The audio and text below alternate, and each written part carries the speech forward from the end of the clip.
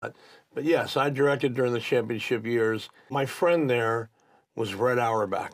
Why? Because he was Jewish and I was Jewish, and I was like a son to him. So he took me under his wing. And he was the President, general manager of the Celtics, of the Celtics. after he was a coach for so many After he was the coach, he was the man. the phrase so- lighting a victory cigar. He was the guy Yeah, he'd who sit on the bench and light a cigar when he knew he had the game. He used to piss everybody off.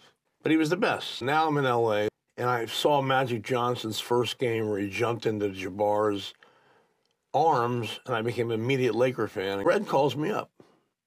He said, The Celtics are playing the Lakers. He said, I have a ticket. You want to go? I said, Of course. So I go and I'm sitting there and I'm rooting for the Lakers and I'm going crazy. And two days later, Red calls me up. He says, You schmuck. I said, What do you mean? He said, You were sitting next to the new owner of the Celtics.